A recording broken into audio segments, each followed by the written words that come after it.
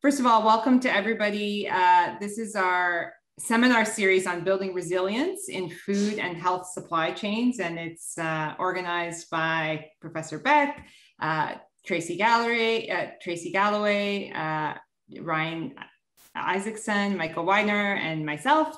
And we uh, all come from different disciplinary perspectives. So that's what makes, I think, this seminar series very interesting. So uh, today, we're very thrilled to welcome Professor Steve Thomas from Trinity College Dublin. And I'll just tell you a little bit about his background.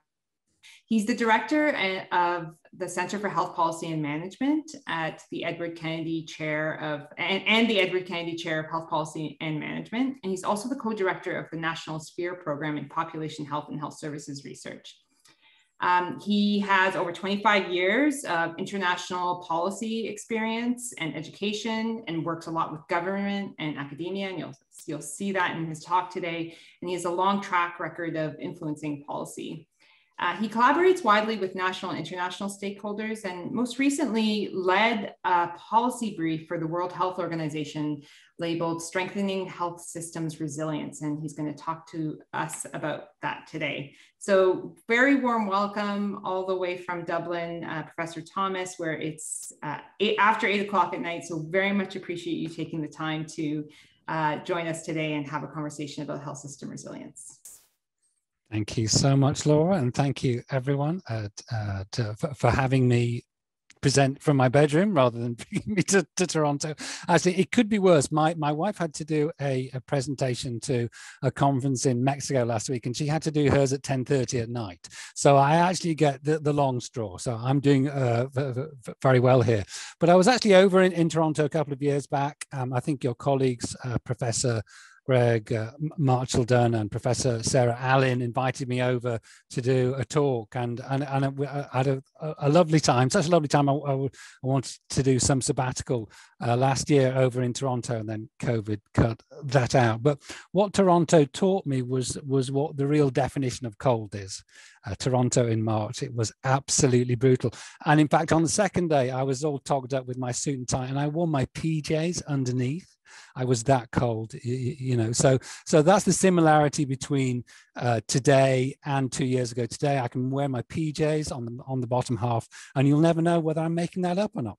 Anyway, so let's talk about health system uh, resilience. It's very much the the topic, the the mot du jour, the the the, the trending issue, um, and I've been involved with with researching health system resilience probably over about um, ooh, I'd say about 12 years now, um, dating back to some of the austerity issues. So I'm going to get uh, going now, I'll tell you about the, what I'm going to talk about, looking really to start off thinking about global vulnerability, the increasing global vulnerability to shocks. And, and my focus is primarily on shocks. Um, there are other manifestations of health system resilience that relate to uh, what's called everyday re resilience, just the general give and take in, in a healthcare system. And some other people look at things like uh, aging and multimorbidity as stressors in the system. I'm not really going to be doing that. I am actually doing genuine shocks you know, so like climate events or things like that. Uh, and then I'll be looking at some initial thinking I did around health system resilience around 10 years ago, and particularly how that how that interplayed with the economic crisis and then more recently, I sat back again and sort of did some more reflections on that and said, actually, that's not quite the whole picture. So I did some new thinking, and that's where the European Observatory Policy Brief came up. And we'll look at uh, look um, at, at, some of those ideas, and particularly in relation to COVID, which is in essence a mega shock. It's not just an, even a, a normal shock. And then we'll do some reflections and learning off the back of that. So hopefully that should take me about three and a half hours, and uh, we'll be good. Uh, okay, so I think what's interestingly what's interesting about the 21st century is the increasing prevalence of shocks that are coming at us from every direction partly i think through some of the choices uh, we've made historically partly through our, our globalized world. And i would take health system shocks as any sudden or extreme change which will impact on our health system. And you know you probably know, uh, know this territory quite well. Health emergencies epidemics disasters economic crisis conflict mass migration terrorism attacks which presents you with a, quite a huge challenge. How do you make the health system resilient to all of that? Uh, uh, so, because they're quite different things. And the way I like to think about uh, health system resilience, because I'm an economist, so I always I have to apologize for being an, an economist, and, and people always think that's quite funny. But there we go. Uh, I am an, an economist, and, and the way I see it is that actually the shock causes a profound disturbance to the balance of supply of and demand for healthcare services. So one of the issues that, that you raise in, in your in your uh, lecture series is the is the supply uh, chain issues. Well, actually, I think it's the supply chain issues and the demand side uh, impacts as well. So, so it's kind of a, like a double whammy coming at you. And then you have to manage all those things within what is a complex system. So, in essence, therefore, quite unpredictable in some ways. Um, and interestingly, here, I think we it, it's important to think that actually different shocks have different causal pathways how they influence the health sector is quite distinct and therefore you need to know what you're dealing with. So, for instance, with the, an, an economic crash, we have a profound resource contraction because governments don't have the, the, the, the, resources, the tax base has, has kind of eroded, whatever it is. So they can't supply as many resources. But at the same time, the households experience a loss of purchasing power, and particularly where there are financial barriers to care, then they can't get the care from, you know, either. They can't afford it. So, so that's, that's the sort of economic crash uh, sort of pathways. With an epidemic, you have a massive need expansion. And as we're learning, that's not just around the disease itself, but it's around other associated needs, for instance, mental health. Um, but at the same time, you have the secondary impact, which is that the human resources are then constrained. Uh, so you get human resources healthcare professional not only contracting uh, the particular uh, whatever it is, a ep epidemic, but having to isolate too. So again, there's a sort of demand side impact, supply side impact, and that plays out in different ways towards your provision of, of healthcare. And I also put mass migration down here because I think this is quite an interesting one. And this comes a little bit out of the uh, experience of the Lebanon, uh, of uh, Lebanon with the Syrian war. And what we actually saw there was a massive need expansion as, as people migrated into, into uh, Lebanon. So there's a huge increase for demand for healthcare services. But actually, if managed properly, there was a, the, there was a release of uh, of of a, of a supply side boost to that by having potential uh, uh additional human resources brought in, additional healthcare professionals, and additional tax re resources where people were able to be um, integrated into the economy. So it doesn't always have to be necessarily negative, but there are distinct, I think, pathways that are coming through different shocks. And I was involved with the uh, European Union Health System um, Performance Assessment Working Group uh, for the last few years, thinking about health systems resilience. And we did we did a survey of EU health system experts in July 2019. So this is six months before COVID really made its mark. And we asked people, well, what are you actually worried about? What are you preparing for? What are you thinking about? What's exercising your your your your planning and interestingly enough and correctly perhaps we saw epidemiological shocks were top although i don't think anyone quite got the covid um, but you know 90% of, of, of, of health systems that was a key concern environmental shocks came second economic shocks came third but as you can see, there's quite a wide range of different concerns. So again, health system resilience is understood and interpreted and planned for perhaps in quite different ways, which, which perhaps gives us a challenge really about how we, how we kind of synthesize all this learning. Um, so we turn to the issue of health system resilience. What actually is it? Is it just about just keeping going in the face of stuff? Uh, and that's yes, it is, but it's that's kind of like too too broad, and we can't really use that because we have to be academics and we have to publish papers off the back of this and, make it useful. So so we need to think things a little bit more precisely. I'm actually not too worried about it. I think there is growing specificity, uh, and and and uh, and I think that's partly because people are just spending a little more time with the, the concept than they have done previously. It's quite a new concept, really, in a in a health system context. And the parallels I would draw would be with the economic notion of efficiency, which has spiraled off into lots of different particular definitions and i think probably resilience will will do so uh, as well. As long as we're clear about what kind of health system resilience we're talking about then then th that's useful. The thing that i it's not about is bouncing back and that that concept of bouncing back irritates me because this is we're dealing with a complex system. We can't possibly get back to where we are before. Um, you know a, a, shock changes us profoundly uh, in many ways. It creates legacy issues and we're talking about that l- later. So so the new normal is not going to be like the old normal and and you know and obviously there's some there's some merit in that. So so you know we can't go back and we probably don't want to uh, because there's plenty wrong with the previous health system anyway. So why would we try and you know put the sort of do a handbrake turn and get back there? So you know there's plenty to, to fix in every health system in the world. So my early thinking was really drawing on the socio-ecological uh, literature around extreme sort of climate ev events and, and systems and how uh, populations and, and uh, societies adapt. So I initially took the idea that resilience is about your ability to uh, absorb, adapt, and transform in the face of, of, of, of a shock. So I took that as a general, uh, general idea. And then what I did uh, the early thinking uh, in the uh, in the, the, resilience project, which was really all about Ireland and and the austerity and the crisis, because Ireland had a you know terrible crisis as we'll, we'll, we'll look at just now, trying to see how to manage the health system through that particular problem. So I divided uh, the the kind of the ideas of resilience into these three components. So the financial resilience, which is to do with absorption, you know, really, can you protect funds for the healthcare in the face of the economic crisis? The uh, adaptive re- resilience is if you can't do that can you make do with less? In other words can you can you still keep the system inherently the same while sacrifice while not sacrificing key priorities? And then if not can you transform? Can you can you change the, the system because it fundamentally can't work as is? So that would be the basic notion that i was looking at there. Uh, and in essence, you know, you've probably seen these YouTube clips. You've probably done it with your kids too. You've lined up lots of different dominoes. You've pushed one, and you've seen the whole thing go spiraling off. Uh, and this is the way I initially conceived. I now think of it differently, but I initially conceived of health system resilience as being like the domino. So you get the shock. Can you absorb it?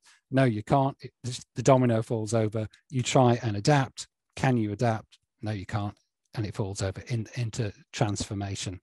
Um, and that was a general idea to, to, to, start with. And there was some evidence that that kind of pattern uh, was there, at least initially, I, I, think, for, for, for, for Ireland. But the other element I think that that I was very aware of when thinking about this was actually wasn't enough to look at the system response. You needed to look at the shock. You needed to look at the dimensions of the shock.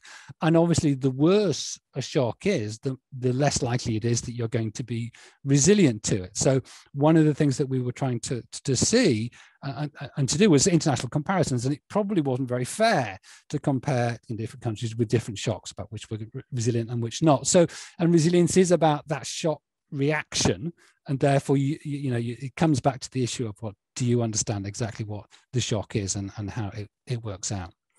Okay so i'm now going to look at uh, just populating some of those ideas and concepts uh, that that we did through the uh, the Celtic tiger collapse. Uh, we went from roaring tiger to drowned kitten uh, very very quickly indeed, and we're going to look at the whole issue, the whole area of of you know what happened to the Irish healthcare system through that crisis. So, okay, so first of all, we hit the iceberg big time uh, our economy, the four key indicators here where we're comparing uh, Ireland's uh, rates with the, the the rate for the um, for the I think it's the European Union, uh, and, and we we started off with very high growth rates, top left there. You know we were booming, fantastic, and it collapsed, and we we shrank in one year. I think it was about nine percent contraction our mean debt levels at top right, they were very healthy uh, through the, the, the, Celtic boom, uh, about 25% of GDP that went up to 70% in very short order, eventually reached 120%. So we, and, and at, at that stage, we were, you know, we were, we were firmly in the grip of the IMF and the European Troika. So we were bailed out. We had a, an 80 billion, rescue, 80 billion euro rescue fund. So it was pretty serious. And the, kind of, those kind of debt levels are often associated with, with kind of very low income uh, sort of countries that get into trouble. Our general government deficit was, well, I think, uh, at its worst was minus 18% because a lot of our uh, uh our tax on on uh, consumption uh, or sales collapsed completely. And then I mean unemployment rate almost overnight went from 6% to, to 12%, eventually peaking around 14, 15%. So we really did hit hit that hard, uh, the the crisis hard. So we had quite a, uh, a brutal shock, and it actually lasted. It had, there was a duration that we had to go through six austerity budgets, so there was plenty of time for, for all that that shock to to reverberate through the health system, and and and because we were quite interested to look at well how severe is the shock, because only then can we really make proper comparisons. We developed a recession severity index looking at things like uh, GDP uh, loss, uh, unemployment rise, the duration of the of the GDP uh, contraction, and then the debt levels in terms of particular thresholds.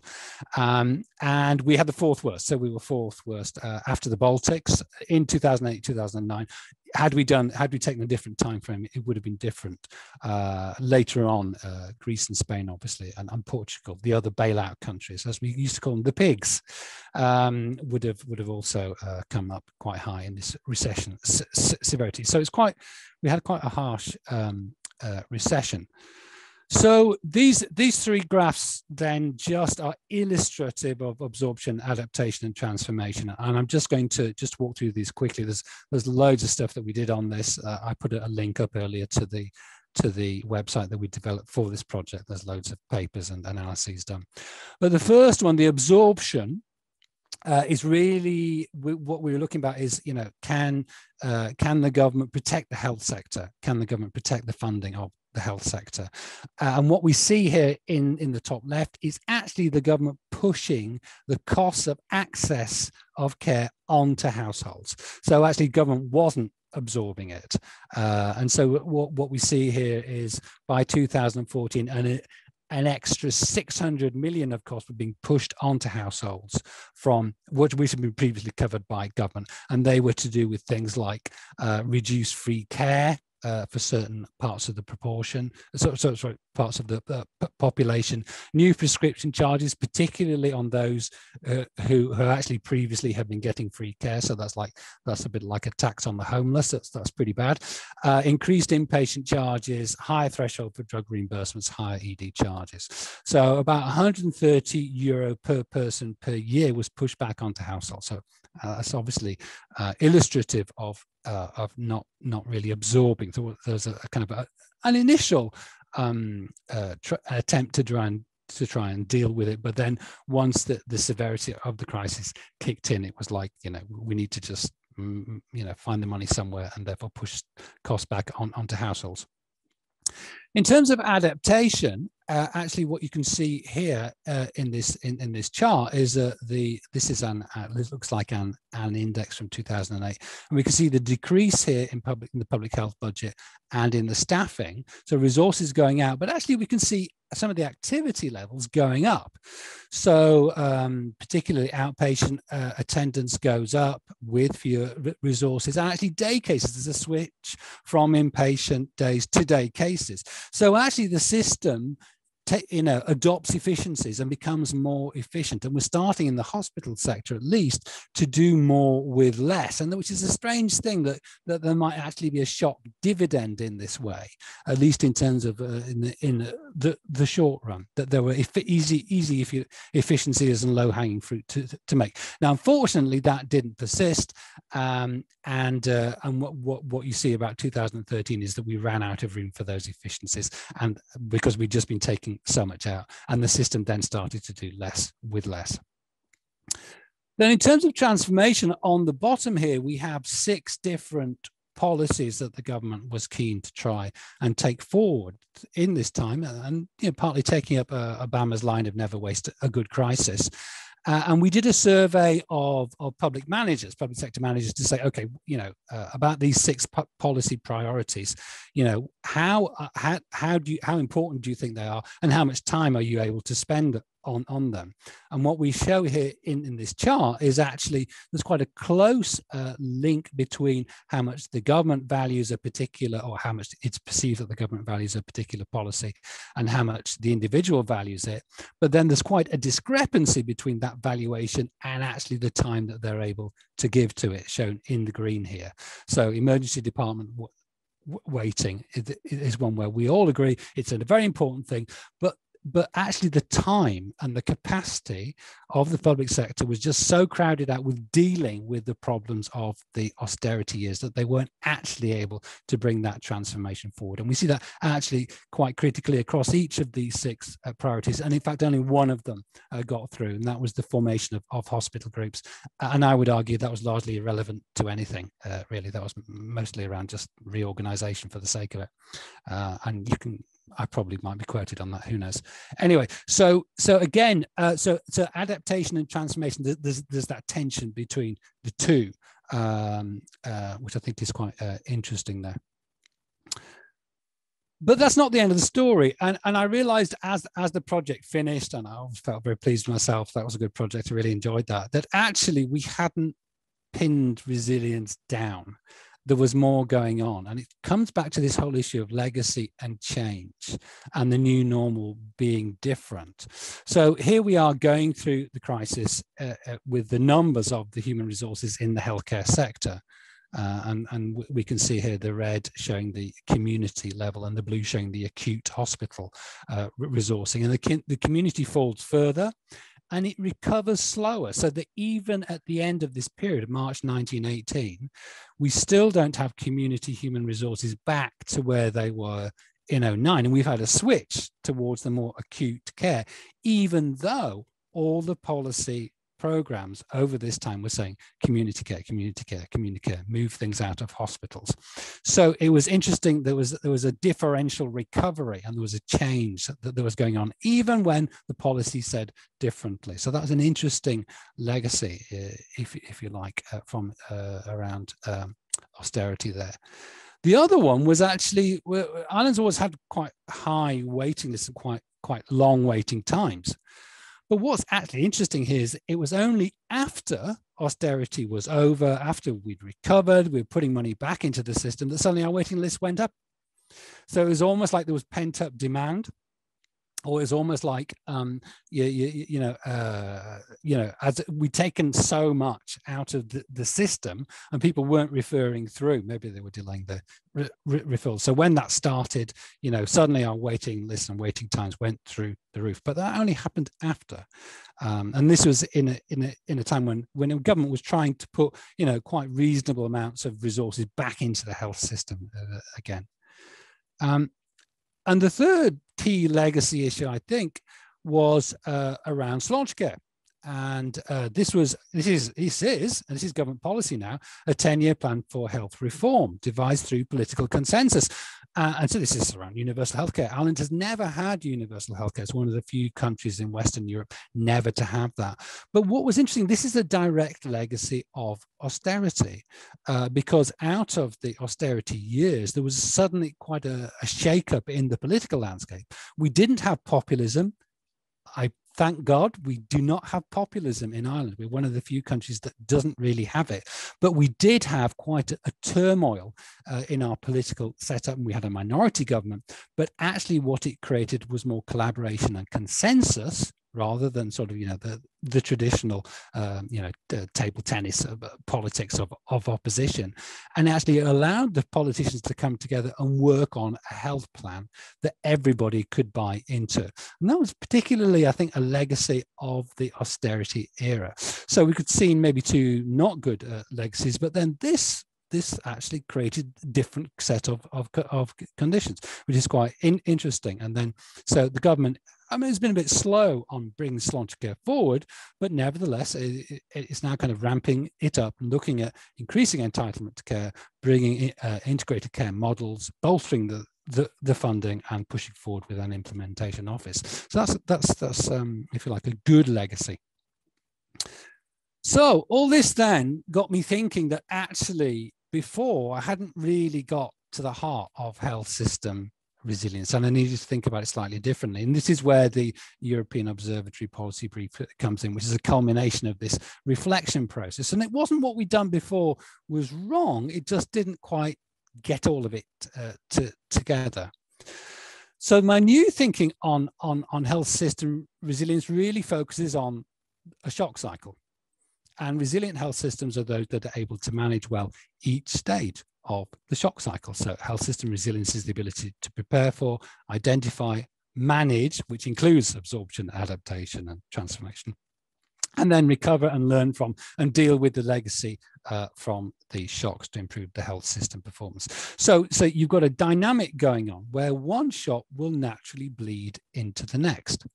So, you know, so our recovery, our learning, our dealing with the legacy will deal, will create then the preparedness and the ground for what comes next. And the other aspect, I think, uh, is that sometimes uh, the, the resilient response depends on where you are in the shock cycle. And this is why it's sometimes quite difficult to, to compare systems because they may be going through different stuff at different times. So your resilient response depends well where am i? Am i am i in a preparedness mode or am i in shock impact mode or am i in recovery and learning mode? But what does it what does it look like? And think so your strategies may often relate to particular aspects. That's what i thought anyway. But i mean what's quite in, interesting as we, as we take the, the, the, this forward is that's partly true and partly not true as i found out. But anyway we'll move on.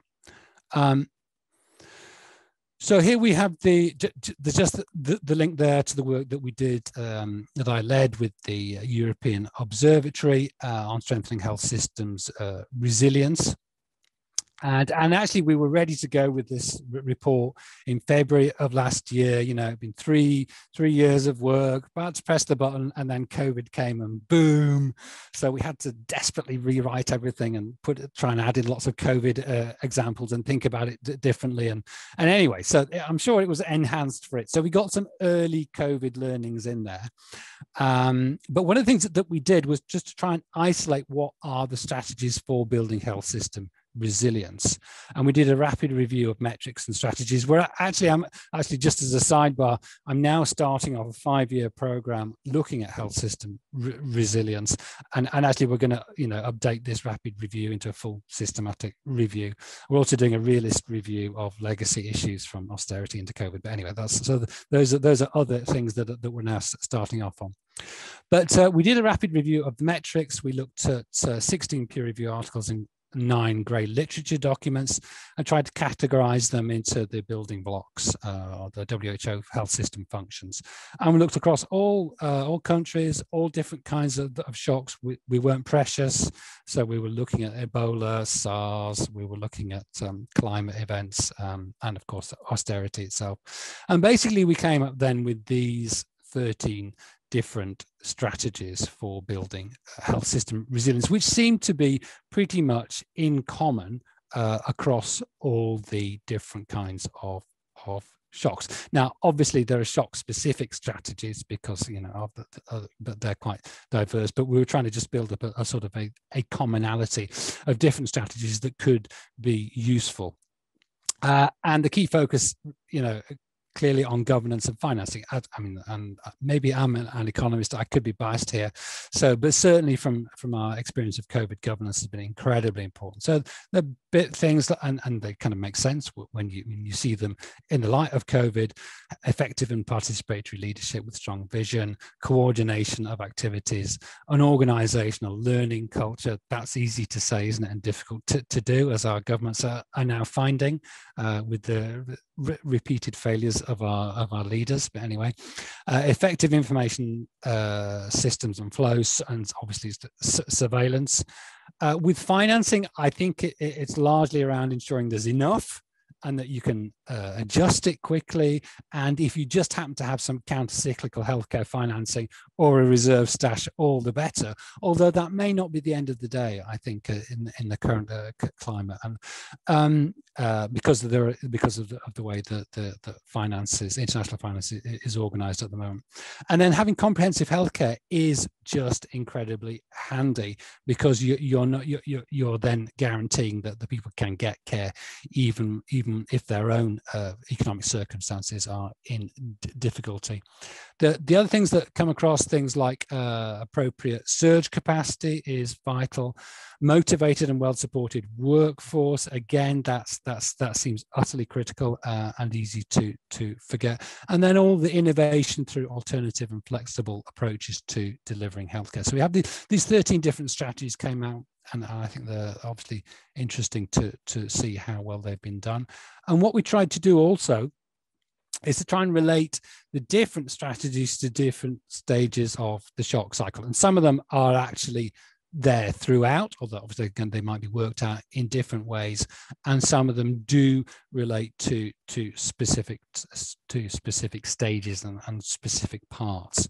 Um, so, for instance, if we look at the uh, the financing elements here, there's obviously a big focus on shock on shock impact and management. And, and let's face it, it's when the shock hits that most of the focus is. It, it, it's not often on the, you know, the preparedness gets some, gets some research, the recovery and learning often doesn't get any, um, you know, because people have just moved on to, to other problems and, and, and other things uh, in, in their lives. But particularly around financing, the importance of getting the, the health system funding to counter cyclical health financing mechanisms or the rainy day fund or whatever it is, and then having purchasing flexibility and, and reallocation of funding to meet changing needs is incredibly important.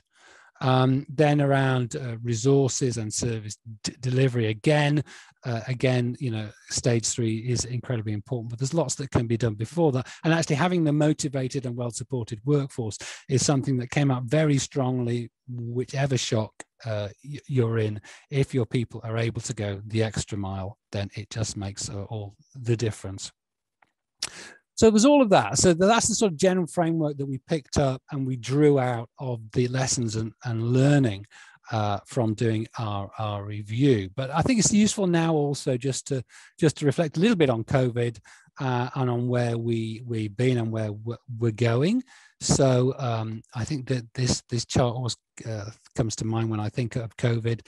Now I might not have got the year right because uh, I mean certainly for the European Commission at the moment, 2021 is is proving to be a particular banana skin uh, of, of, a year with its uh, terrible flat-footed diplomacy and and suddenly we might be getting into vaccine wars so that's uh, it's it, it's not good uh, from a brussels perspective um, so let's look at, at COVID. So really, I think the interesting thing about COVID is it's not it's not a once in a generation shock. It's not even a once in a lifetime shock. It's a once in a in a sort of hundred years, once a century shock, and therefore it becomes very complex how you how you deal with it and the challenges of governance are that much more severe so and, and, and we can see the, the four different elements here so of course you've got your daily uh, new confirmed cases. And as you can see, we shot Alan shot through the roof in, in around about and around about January the 8th, actually, which is my birthday.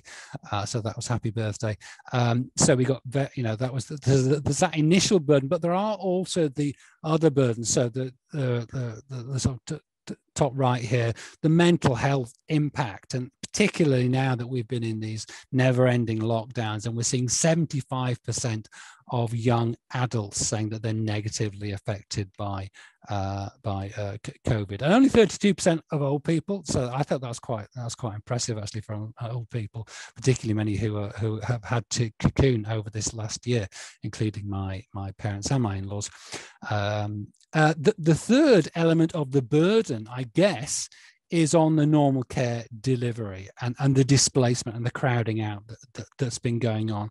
And what we see here is the bump uh, that happened around waiting lists, and they they shot up quite rapidly on the on the early stages of, of, of COVID. And this is even with when no one's presenting, because really, to be honest, people dropped stopped going, stopped getting re- referred. But a lot of care was was basically frozen and has been frozen over the last year. A lot of elective care has had to be delayed, and there obviously uh, well, the two things: elective care ha- has been delayed, but people are just not getting diagnosed, not getting screened. So there's a that that itself will probably have a massive impact and we're not quite sure exactly what that looks like yet but we can see this early bounce down in the in the uh, bottom left and then the the final component really i think is the is of course the the economic hit so we went into technically a recession uh, in 2020 because our first two quarters were negative growth. We bounced back, but obviously the, the, that has a, a profound impact on a lot of people now. Probably around 20 to 25% of the workforce would be receiving some kind of pandemic unemployment benefit. So, so you've got these four particular burdens in this sort of mega shock of COVID, which creates then such the, the big um, governance uh, ch challenge. Um, okay, so, so let's look at some of those, those uh, key issues around governance, financing, resourcing, and service delivery to see what, what are some of the, the early lessons. Um, and and I come back to this point about the you know the, being resilient is actually managing well each stage of the shock cycle. And the dangers of overconfidence just because you do one bit right doesn't mean that the next bit goes well. And, and actually what we've seen hugely in the uk and ireland is the danger of governance not getting it right. Uh, in the uk we had we're well prepared. The UK was well prepared on, according to the Global Health um, Index. It was one of the most prepared uh, health systems for a, a, pandemic. It's just the flu. They locked down late. Huge numbers of people uh, got sick and died as a consequence of that overconfidence. Now, some say now that they're making good with the vaccines, uh, but the, the, the dangers of of of of, of not being vigilant, having to be resilient at each stage, if you like.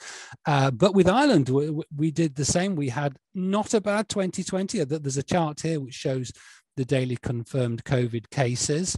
Uh, it compares Ireland to, to Canada. You did a bit better, um, but what we did uh, was was we managed to you know three lockdowns, and we said, sure, you can have Christmas, not a problem. You don't say that to Irish people. You don't say, you can go to the pub now.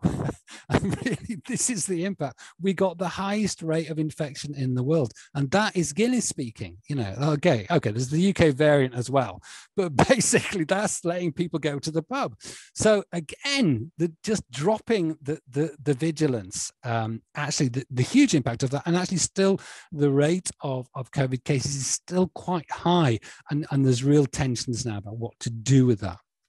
And of course, as we know, you know, the Dominic Cummings story drives 260 miles for, you know, he's a, Dominic Cummings, the, the health advisor to, to Boris Johnson, drives 260 miles to get childcare, takes a, a whatever it is, a 50 mile round trip to a local beauty spot to test his eyes for the reverse journey.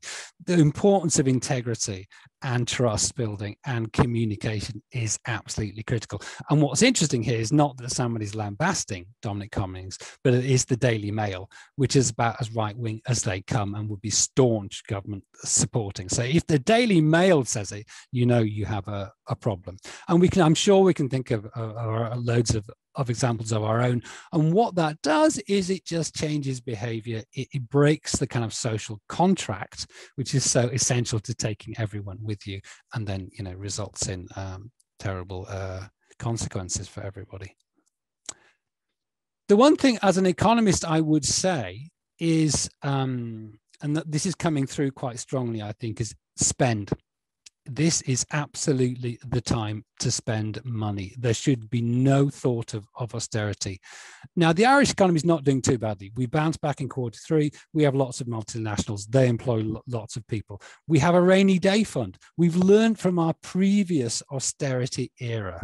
Okay, we'd actually, you know, uh, our economy, our tax base is more diversified. It, we're just in a better shape. But I think, and and and, and that's more true for Ireland than some other countries. But other, I mean, it's interesting. The Baltics have actually also learned from their previous austerity and, and made things better. But I think what we are experiencing, uh, particularly in the EU, is that actually the our, our borrowing rates are so low at the moment compared to where they were. So back in in 2012, we had borrowing rates, what you know, over 12% up here. I mean, appalling. Now they are half a percent. So actually, the 10-year bond rate, you know, is so low, we can just basically let's just print money. You know let's just finance this to get through this particular shock because we can you know uh, we we really don't have a problem of of the cost of borrowing like we did have. And our debt debt to, to gdp ratio in ireland it, it, it was fantastic. It then became terrible. We're now around 60% and and actually i would say probably up to about 80 90% you've still got a fair bit of trust in you this is for normal small economies of course if, if, if you're into the us you know the normal rules do not apply.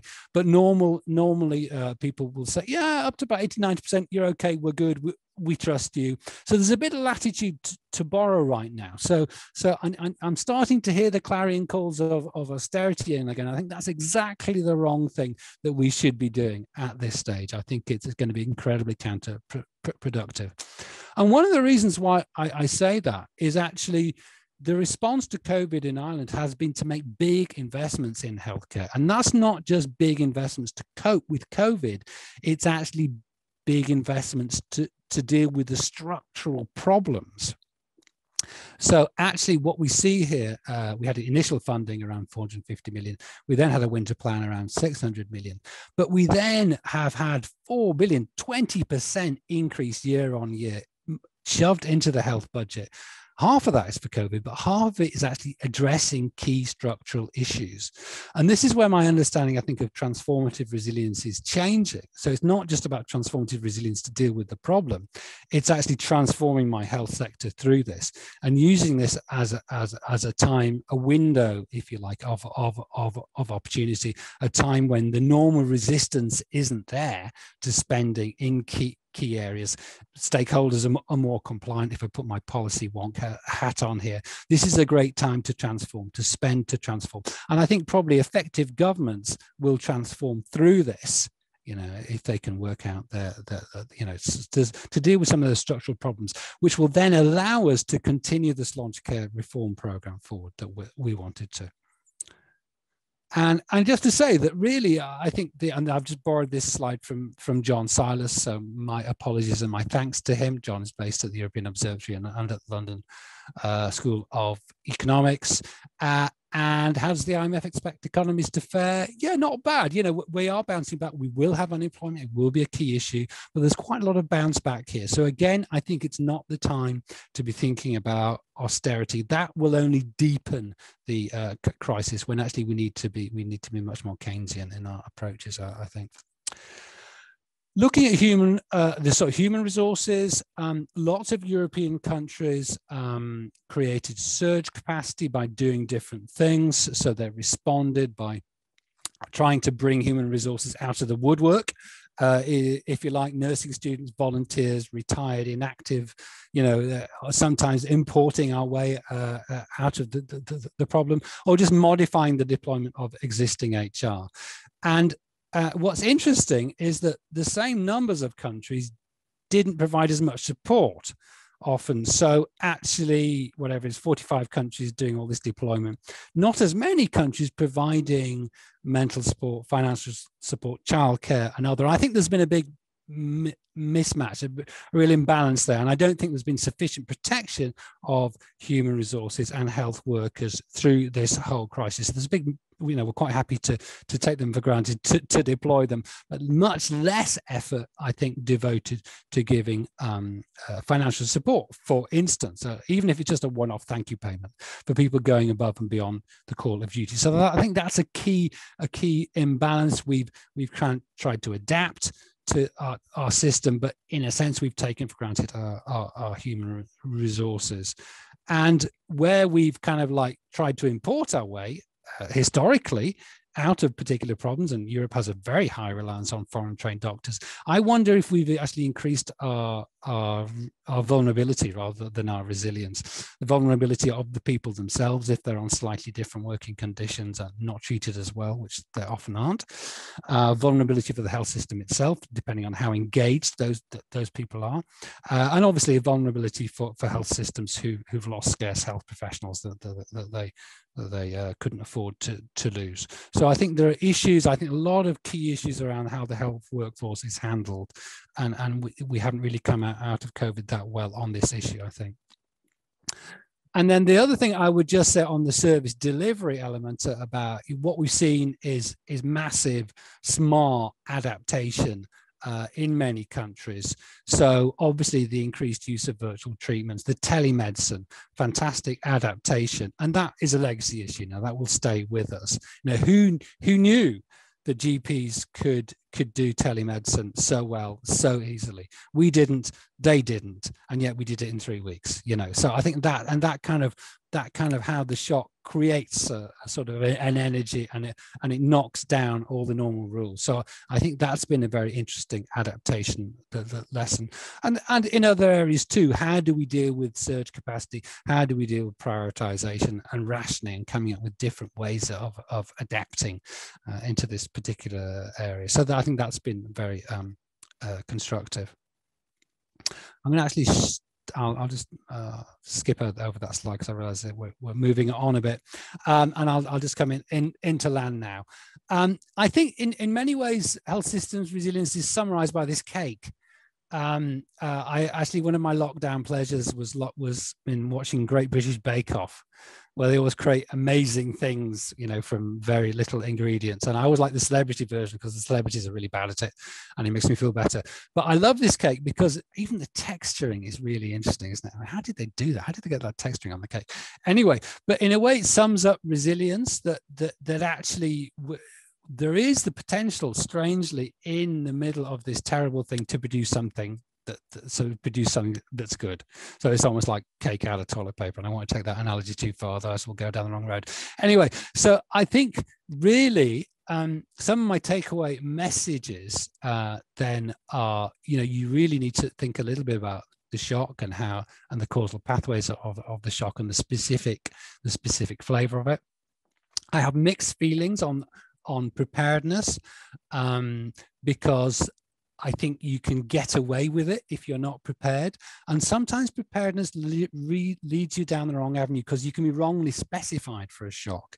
And also, it can make you a little bit overconfident about your system. And then there's the lack of vigilance that we've seen. So, so preparedness is, is obviously useful, but it, it's, uh, you know, it's certainly not sufficient. And I, and I think sometimes people think it is uh, because it's something that people think that you can do at your leisure. But I think there are, there, there, there are traps there, and perhaps because of the diversity of different shocks.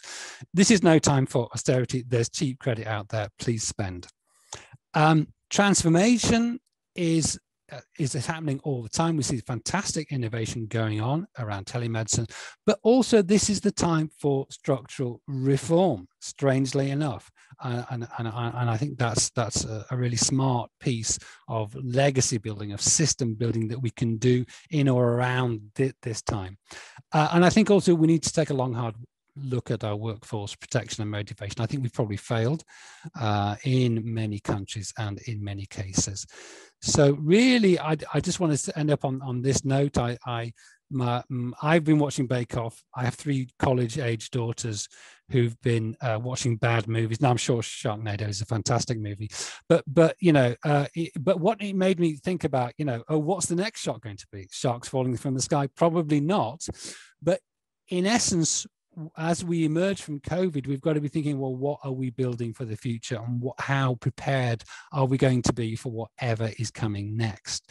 And and if we're wise, we can hopefully you know uh, move into sort of a uh, build more resilience and build mm, uh, some good legacy aspects if we're conscious of that at this time. So I think I've, I've waffled on long enough there, and I think I probably need to stop, and I will stop sharing. There we go. Wonderful. Thank you so much. That was fantastic. And uh, thank you for keeping us engaged and entertained on uh, Monday afternoon. It was just just so much to unpack there. So yeah, I'm going to lots in it. Uh, lots in it for sure. So uh, please feel free to put a raise your hand or type your question in the chat and I will come to you. We have a few minutes for questions. Um, you also have some fan uh, for Sharknado, some Sharknado fans in the in the chat. So just to let you know that. Um, so I'm going to go to Victoria and then Michael.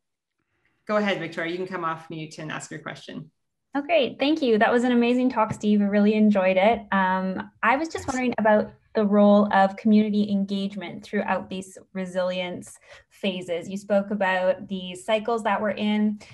And in the resilience literature, you don't really see a lot about where we can engage communities to build resilience or tap on community resilience. Could you speak a little mm. bit about where you think that those processes could slide in or whether it's like a separate thing?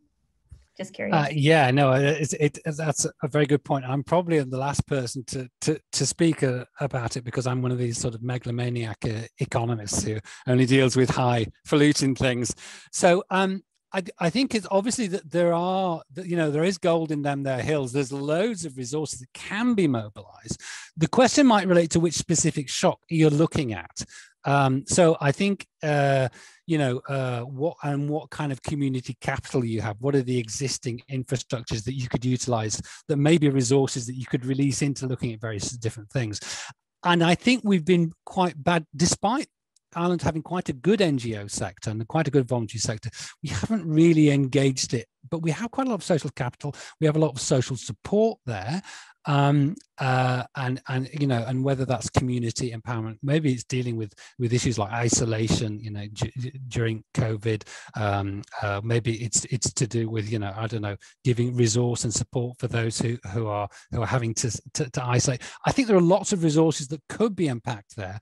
I haven't seen much on it. So I think it is an untapped resource because I think it's flexible and I think it's in existence and you don't have to drum it up from somewhere. But I think, I mean, I certainly know here in Ireland, our government did rather poorly in relation to unleashing that and, and everything got draped in red tape and, and it was just um, a mess so so I, I think it's a very interesting area um, but i haven't seen it done well Great. Michael, over to you.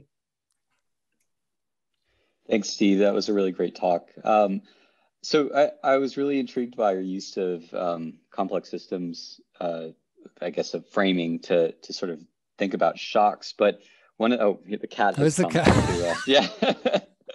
I thought um, it was a, but, a shark coming in or something. Yeah, yeah, I know, right? It's hard to tell sometimes. Uh, but I, it, it got me thinking a bit about your shock cycle and it, it, that seems quite well suited for sort of a shock at a time but sort of given the sort of impending threat of climate change and all sorts of potential other shocks that could happen concurrently uh, have you thought a bit about how you know how your your sort of framing might work within a system of shocks? Or is it is it mm, better to mm, just think mm, about mm one one dimension at a time and deal with them separately. Does that make sense? I, yeah no it does it does. i mean it, it, depends how clever you, you are i guess michael. If you're very clever you can probably not, not handle all so that. i mean one and one of the things that i was interested to to think about is whether actually there are within covid there are lots of little shocks going on uh, uh, or uh, sequentially or concurrently. So that's what I was trying to get at with the, the, the, sort of the four elements of it. And, and I think there is another level uh, going on in there. Uh, and therefore, where your focus needs to shift, because can you handle all of it at the same time? And that's the one of the big uh, issues. Probably not. Um, it probably works better for discrete shocks. I mean, I, I have to say, when I was preparing some of the shock cycle stuff, um, I was thinking about, well, what is the next shock going to be? And, it, and it's, and I thought it's going to be Brexit, isn't it? It's going to be Brexit for Ireland, the Irish economy, and that's like dwarfed now. So, so I, I actually didn't. I'm only now understanding actually you can get a load of shocks happening very either uh, concurrently or in quite short order. So I think there is some thinking to be done about that complexity, and I don't have the answers, but I'm happy to dialogue. Thank you. Great. Thank you. And then maybe just do one quick final uh, question. Um, and it's on the recovery and learning cycle, which I agree with you, I think is the most important. I think we put far too much emphasis on preparedness and not to recover and learn. And I personally am very worried about the differential recovery of COVID. I mean, we had a differential mm. impact. And I think the mm. differential recovery is going to be uh, pretty frightening, actually. And um, so, so I think that the recovering and learning could be a, a big part in mitigating that. So my question is, how do we get that recovering and learning cycle up and running? Do we have to incentivize it? Do we have to make it mandatory? Why is it always, why is it so hard? And how do we actually make, get it a priority for governments and policymakers? I mean, obviously, I, I think there's an, an advocacy question and there's a framing question what we were able to do through austerity by putting out this kind of uh, of research was to frame the narrative, to frame the discussions, you know, that politicians were having. So some of these elements and some of these charts got into the discourse. And i and i think that's what you need to do. You, you need to you need to pump out the subject. Okay th- this is how you look at it this is why recovery is so important because actually we can change our health system for the better at this time if we're smart and, and we act quick now. So there's a real opportunity now, rather than everyone saying, Phew, oh, it's over. Let's go and relax and, and you know go to the pool or, or something. Actually, if you can actually show, you know, put the policy wonk hat on and say there is an opportunity here to fundamentally deal with some structural issues and then get a couple of kind of policy entrepreneurs in or a couple of key people who can speak it out and you frame the discourse. I think i think that's going to create a lot of buy-in because i mean i mean i don't know about politicians on your side of the, of, of the pond but here they're looking for ideas.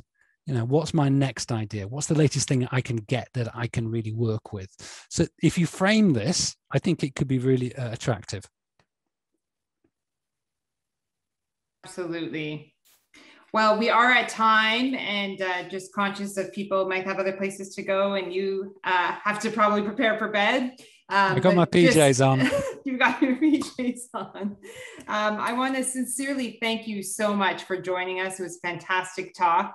Uh, you gave us a lot to think about. We could talk for quite a long time. And I hope you are still doing that sabbatical uh, in Toronto at some point when it's safe to do so and again. So maybe we can uh, welcome you in 3D.